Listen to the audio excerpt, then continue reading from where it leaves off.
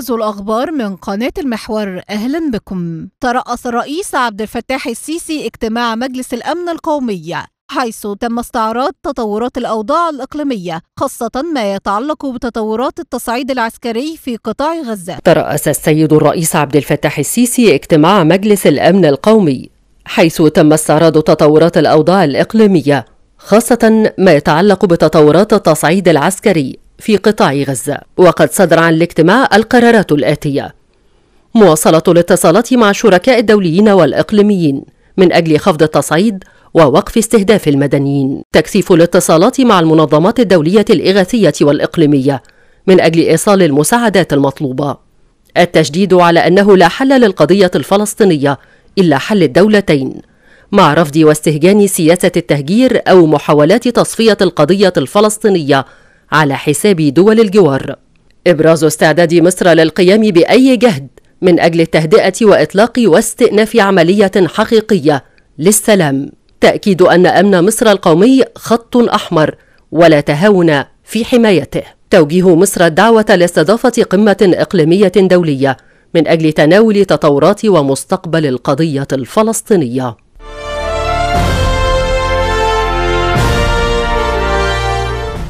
كما استقبل الرئيس السيسي وزير الخارجية الأمريكي أنتوني بلينكين وذلك لبحث تطورات التصعيد العسكري بقطاع غزة المزيد في سياق التقرير التالي. استقبل السيد الرئيس عبد الفتاح السيسي السيد أنتوني بلينكين وزير الخارجية الأمريكي. وذلك بحضور السيد سامح شكري وزير الخارجية واللواء عباس كامل رئيس المخابرات العامة. حيث أكد الجانبان الحرص على تدعيم وتعميق الشراكة الاستراتيجية الممتدة بين مصر والولايات المتحدة الأمريكية والتي تمثل ركيزة أساسية للحفاظ على الأمن والاستقرار بمنطقة الشرق الأوسط. كما تم التباحث حول تطورات الأوضاع الإقليمية والتصعيد العسكري في قطاع غزة. أهلا وسهلا بكم حبيب وبالوفد المرافق أنا عارف إن أنت دي آخر محطة في جولتك الكبيرة. وده جهد كبير قوي. أنت نزلت واسمح لي أقول لك إن الأزمة اللي بتمر بمنطقتنا هي أزمة غير مسبوقه بتحتاج مننا إن إحنا نعمل بقوة وبعزيمة من أجل احتوائها والحد من تداعياتها، لكن المهم قوي إن أنا أبدأ كلامي بنقطة في منتهى الأهمية، نحن نندد ونرفض تماما المساس بالمدنيين، أي مدنيين.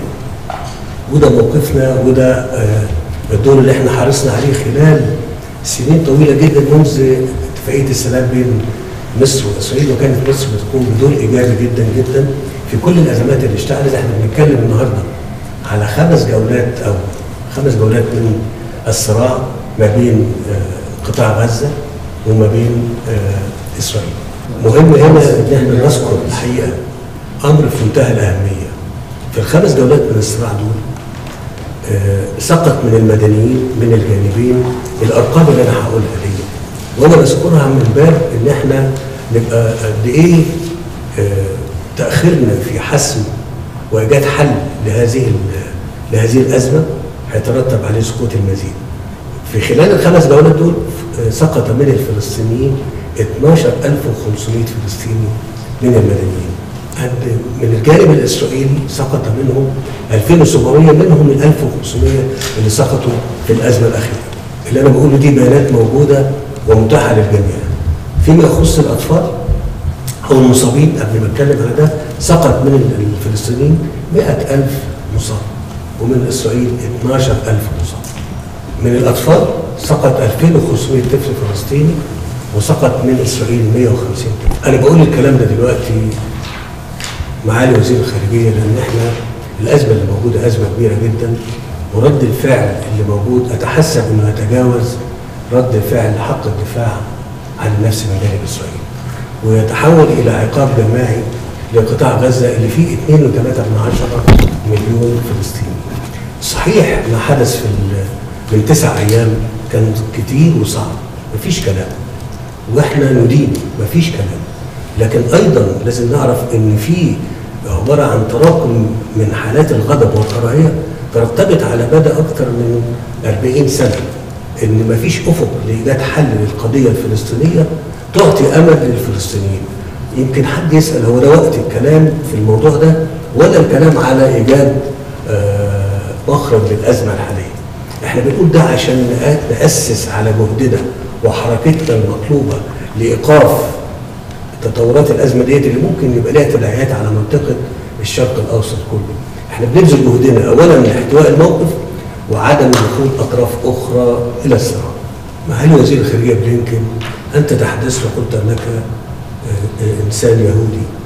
وأنا أسمح لي أقول لك إن أنا مواطن مصري نشأت في حي جنبا إلى جنب مع اليهود في مصر ولم يكن أبدا يتعرضوا أي شكل من أشكال القمع أو أي شكل من أشكال الاستهداف.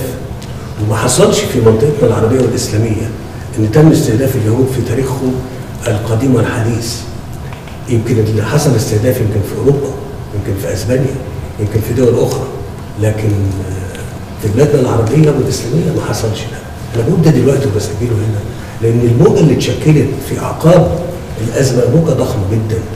وإحنا محتاجين إن إحنا نتحرك وبقوة وبعزم زي ما ذكرت لكم. ومهم جدا جدا إن إحنا نخفض التوتر. وأيضا نيسر دخول المساعدات إلى قطاع غزة لأن النهارده إحنا بنتكلم على قطاع محاصر لا في مية ولا في كهرباء ولا في وقود والنهاردة ابتدت في ازمه خبز تتداعى.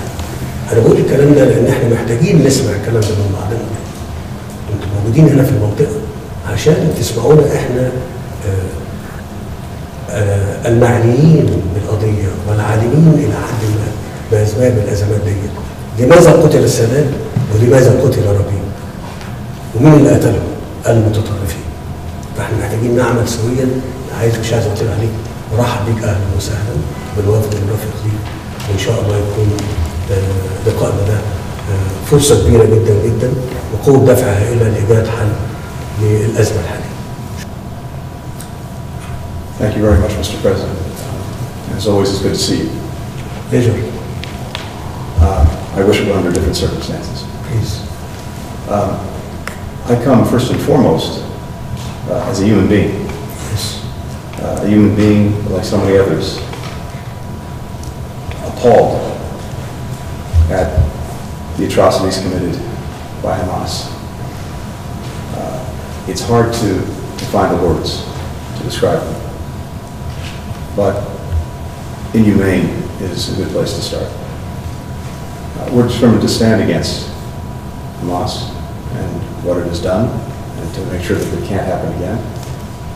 We're determined to stand with and for innocent civilians who suffer primarily as a consequence of what Hamas has done uh, on all sides. Uh, We come to work together as well to ensure that this uh, crisis, this conflict doesn't spread to other places. And we come to think together about a, a way forward uh, for everyone in the region that is positive, uh, affirmative, the contrary of the vision that Hamas has, which is simply terror, destruction, murder. Um, What we've seen uh, these last days, I think makes clear that there really are two paths for this region. And one is the path of greater integration, normalization, collaboration, uh, affirmation of the rights of Palestinians, uh, and working together in common purpose, common benefit. That's one path. The other path is the one that's offered by Hamas. Uh, A path, as I said, that offers nothing but death, destruction, terror, nihilism. I think the choice is very clear. The challenge is for us to work together to put everyone clearly, affirmatively on that first path. We know that that's what the overwhelming majority of people in this region want. Uh, It's certainly what we believe uh, they need, and I'm grateful for the opportunity to consult with you uh, about the challenges we face in the immediate, but also a path forward that brings us to a better place.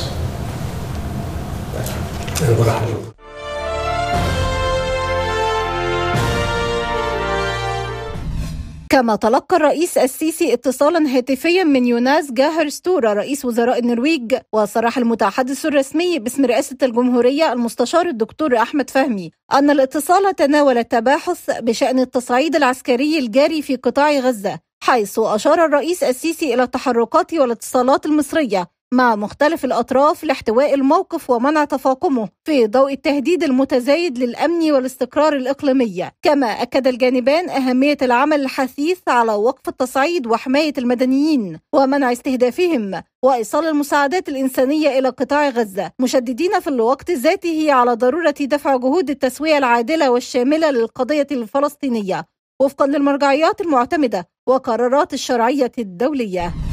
كما تلقى الرئيس السيسي اتصالا هاتفيا من رئيس الوزراء اليوناني حيث جرى التباحث حول تطورات التصعيد العسكري الحالي في قطاع غزة. وقد تم التوافق في هذا الشأن حول تعزيز الجهود الدولية والإقليمية لخفض التصعيد. باعتباره الأولوية الحالية لتجنب أن يأخذ أبعادا أوسع تزيد من تعقيد الموقف. كما استعرض الرئيس السيسي نتائج الاتصالات التي تقوم بها مصر مع مختلف الأطراف المعنية من أجل دفع جهود التهدئة. وتوفير النفاذ الآمن والعاجل للمساعدات الإنسانية إلى أهالي قطاع غزة فضلا عن دفع مسار إحياء عملية السلام والتسوية العادلة والدائمة للقضية الفلسطينية على أساس حل الدولتين.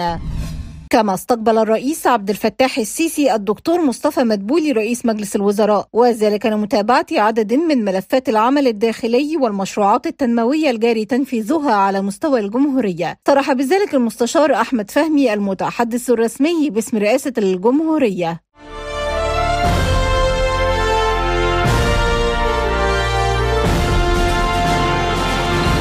استقبل السيد الرئيس عبد الفتاح السيسي الدكتور مصطفى مدبولي رئيس مجلس الوزراء وذلك لمتابعة عدد من ملفات العمل الداخلي والمشروعات التنموية الجاري تنفيذها على مستوى الجمهورية.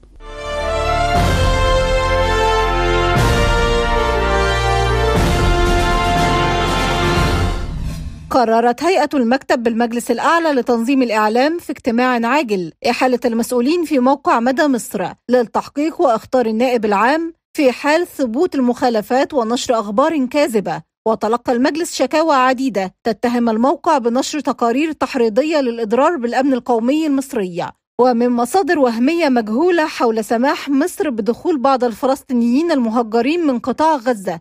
بما يتنافى مع القوانين ومواثيق الشرف الإعلامية والمهنية والمصداقية وأشارت الشكاوى التي تلقاها المجلس إلى أن الدولة المصرية على لسان رئيس الجمهورية ووزير الخارجية وكبار المسؤولين أكدت موقفها التاريخي والثابت بعدم السماح بإجهاض القضية الفلسطينية أو تهجير الفلسطينيين من أراضيهم وضرورة إقامة الدولة الفلسطينية فوق أراضيها ولم يتحدث مسؤول مصري واحد عن التهجير الذي ترفضه مصر جملة وتفصيلا. أكد رئيس مجلس النواب المستشار الدكتور حنفي الجبالي أن المجلس يتابع عن كثب الأحداث الجارية في فلسطين الشقيقة بقلوب يعتصرها الحزن. وعقول واعية للخطر الدامي الذي قد تتعرض له المنطقة بأكملها. وأضاف رئيس مجلس النواب في كلمة له خلال الجلسة العامة للمجلس بأنه من خلال المتابعة الدقيقة لمواقف المجتمع الدولي تجاه الأحداث فقد تكشف أن هناك أصواتا ترغب في تشويه أنبل قضايا العرب ألا وهي القضية الفلسطينية. وأكد المستشار الدكتور حنفي الجبالي أن كفاح الشعب الفلسطيني في مواجهة قوات الاحتلال هو حق مشروع كفلته أحكام القانون الدولي التي أقرت بالحق في مواجهة سلطات الاحتلال دفاعا عن الوطن وحريته وشرفه. وشدد رئيس مجلس النواب على أن المجتمع الدولي ليس أمامه سوى اتخاذ خطوات حثيثة لتحقيق التسوية الشاملة والعادلة للقضية الفلسطينية على أساس حل الدولتين. وختاما أكد المستشار الدكتور حنفي الجبالي على أن موقف الرئيس السيسي تجاه الأحداث الجارية بالأراضي الفلسطينية المحتلة وإعلانه عدم تخلي مصر عن الأشقاء في فلسطين والمحافظة على مقدراتهم. ما هو إلا تجسيد لما يدور بخلد وضمير كل مواطن مصري؟ وصلت قافلة المساعدات الإنسانية الشاملة للتحالف الوطني للعمل الأهلي التنموي ومؤسسة حياة كريمة. والتي تضم قرابة 106 قاطرة محملة بكميات ضخمة من المساعدات الإنسانية إلى مدينة العريش بشمال سيناء لدعم أشقائنا الفلسطينيين في قطاع غزة. من أجل المساعدة في تخفيف الأوضاع على الشعب الفلسطيني نتيجة الاعتداء الإسرائيلي والذي أسفر عن سقوط الآلاف الضحايا والمصابين.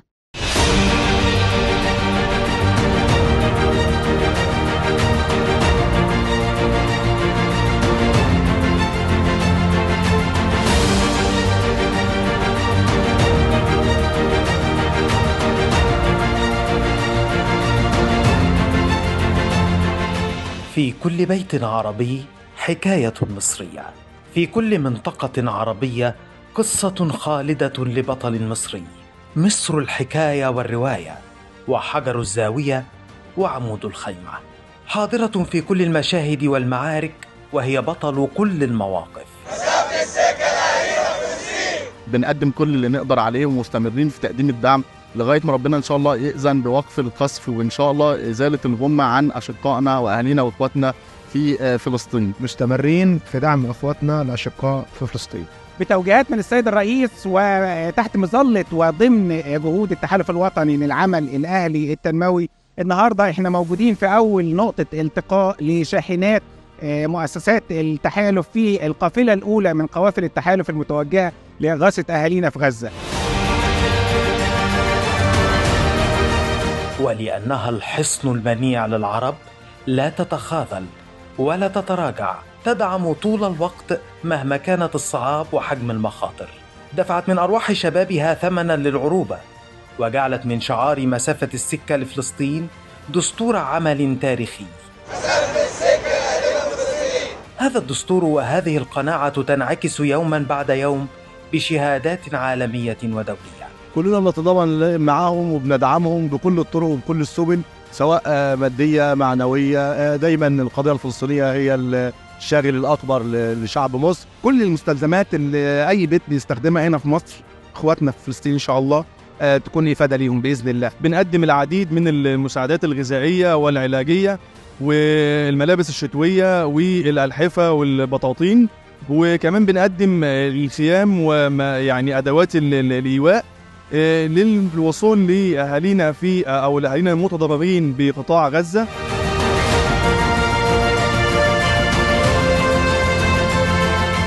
ولأن الحياة عقيدة ولأن دعم أهل فلسطين أهم هذه العقائد انطلقت قافلة جرارة من 106 قاطرات من التحالف الوطني للعمل الأهلي التنموي ومؤسسة حياة كريمة لدعم أهل فلسطين.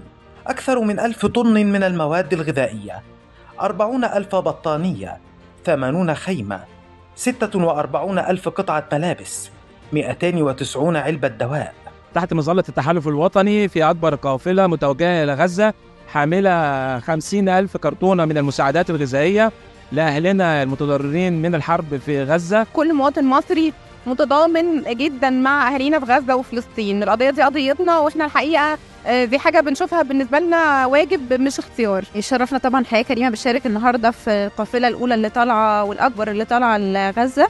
آه، بنشارك ب 15 تريلا فيها مواد غذائية صناديق غذائية ومواد معلبة. آه، بنشارك ببطاطين بلبس أطفال بأدوية. وإن شاء الله القافلة توصل بالسلامة. إن العروبة قدر وقدر مصر أن تقود هذه الأمة تتحمل عنها وتدافع عنها وتضعها موضع الأمان مهما كلفها الأمر ومهما كانت التضحيات.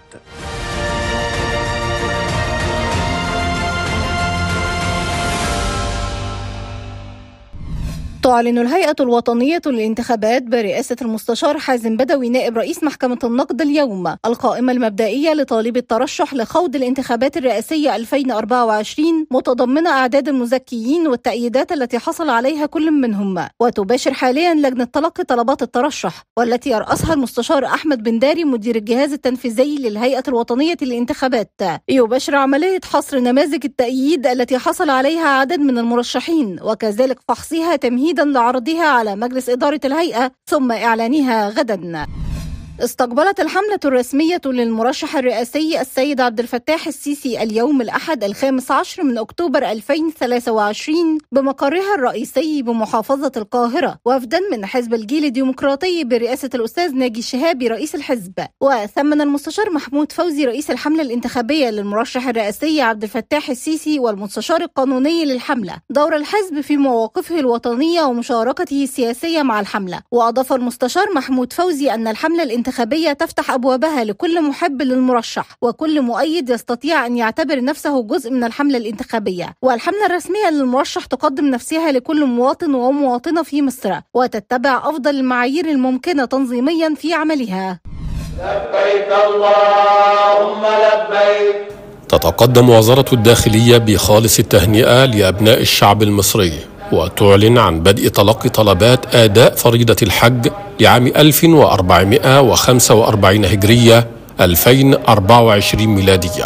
التقديم اعتبارا من السبت الحادي والعشرين من أكتوبر 2023 حتى الاثنين السادس من نوفمبر 2023 بجميع مراكز وأقسام الشرطة بكافة مديريات الأمن. تقدم الطلبات بمعرفة المواطن شخصيا إلى أي مركز أو قسم شرطة دون التقيد بمحل الإقامة أو من خلال الموقع الإلكتروني للإدارة العامة للشؤون الإدارية بوزارة الداخلية أو من خلال الخدمة الصوتية المخصصة لذلك. سيتم إجراء القرعة العلنية من خلال البوابة المصرية الموحدة للحج لكافة المتقدمين بمديريات الأمن وفقا للجدول الزمني الذي سيعلن من الإدارة العامة للشؤون الإدارية.